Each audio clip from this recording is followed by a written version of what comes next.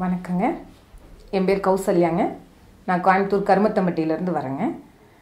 தற்சார்பு வாழ்வியலில் நம்மளுக்கு தேவையான அழகு சாதன பொருட்கள் செய்கிறது எப்படி அப்படிங்கிறத நான் உங்களுக்கு இப்போ செய்து காட்ட போகிறேங்க இந்த அழகு சாதன பொருட்கள் அப்படிங்கிறதுல ஆறு பொருட்கள் வருதுங்க.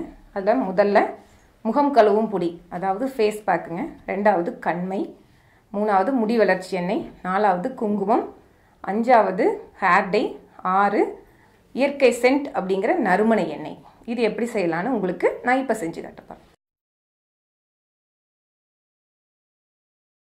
இயற்கையான முறையில் முகம் கழுவுற பொடி அதாவது ஃபேஸ் பேக்குக்கு தேவையான பொருட்கள் பன்னீர் ரோஜா ஐம்பது கிராம் மஞ்சள் பரங்கிக்காய் தோல் ஐம்பது கிராம் ஆரஞ்சு தோல் அல்லது ஆரஞ்சு தோல் பவுடர் ஐம்பது கிராம் வெள்ளரி விதை ஐம்பது கிராம் பாதாம் பருப்பு ஐம்பது கிராம் கசகசா ஐம்பது கிராம். முல்தானி மெட்டி அல்லது புற்றுமண் ஐம்பது கிராம். இப்போ முதல்ல என்ன பார்க்க போகிறோம் அப்படின்னாங்க முகம் கழுவுற பொடி அதாவது ஃபேஸ் பேக் இது என்னென்ன பொருள்கள் இருக்குது? அதில் நம்ம ஃபஸ்ட்டு எடுத்துருக்கிறது பன்னீர் ரோஸ். அதில் கொஞ்சம் எடுத்துக்கிறேங்க. அடுத்தது இதை வெயிலில் நல்லா காய வச்சு எடுத்துருக்குறேங்க. இது வந்து மஞ்சள் பரங்கிக்காய் தோல். இது தோல் எடுத்து நல்லா வெயில் உலர்த்தி வச்சுருக்குது. அது கொஞ்சங்க.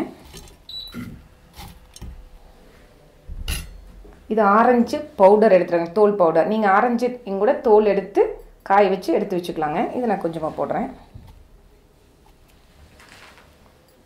இது வந்து வெள்ளரி விதைங்க. இது கொஞ்சங்க. பாதாம் கொஞ்சங்க. அடுத்தது கசகசா இது கொஞ்சம். முல்தானி மெட்டி அல்லது புற்றுமண் உங்களுக்கு எது கிடைக்குதோ அதை எடுத்துக்கலாங்க. இது நான் வந்து முல்தானி மட்டி எடுத்துக்கிறேன். கொஞ்சமாக இதில் சேர்த்திக்கிறேங்க. இது எல்லாத்தையும் இப்போ அரைச்சி பவுட்ரு பண்ணிக்கலாங்க.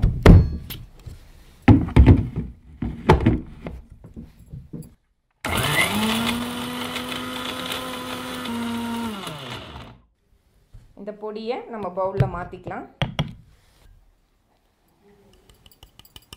நம்மளுக்கு நல்லா அரைச்ச பொடி கிடச்சிருக்குங்க.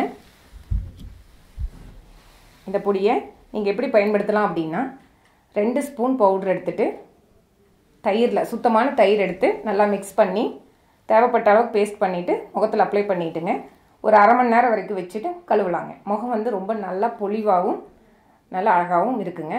இதில் ரொம்ப ஹீட் பாடியாக இருக்கிறவங்க அதாவது பிம்பிள் இருக்கிற ஃபேஸில் இருக்கிறவங்களுக்கு வந்து தயிரை விட்டுட்டு வெறும் தண்ணியில் கரைச்சும் கூட போட்டுக்கலாங்க.